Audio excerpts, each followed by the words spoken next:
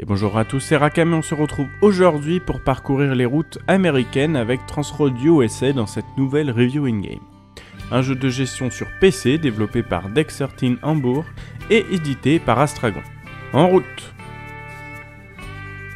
Transroad USA vous place à la tête d'une entreprise de transport routier. Votre but est donc de gagner de l'argent et qui plus est, plus que vos concurrents.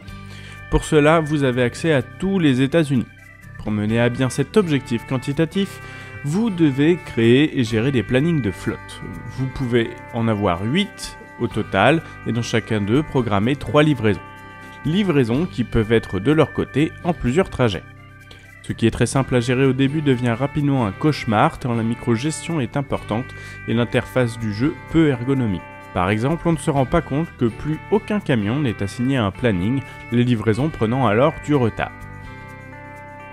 Pour étendre votre empire, il faut également acheter de nouveaux camions et embaucher de nouveaux chauffeurs. Histoire de grimper en popularité, vous pouvez même faire du marketing. Et si vous êtes assez riche, racheter vos concurrents reste une option. Transroad USA est un jeu plein de bonnes idées, mais comme souvent avec les jeux édités par Astragon, elles ne sont pas exploitées au mieux. Ici, la microgestion qui au début est intéressante devient rapidement un point faible du gameplay, à tel point que l'on a peur de faire grossir son entreprise. On passera sur l'optimisation loin d'être idéale, mais qui tend à s'améliorer.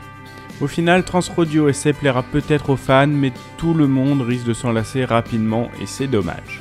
Voilà, cette review se termine ici. Si cette vidéo vous a plu, n'hésitez pas à mettre un pouce en l'air, partager, commenter et bien entendu vous abonner. Sachez que vous pouvez aussi retrouver notre lien partenaire chez gamesplanet.com dans la description. Si vous voulez en savoir plus sur le titre, le lien du test est également sous la vidéo.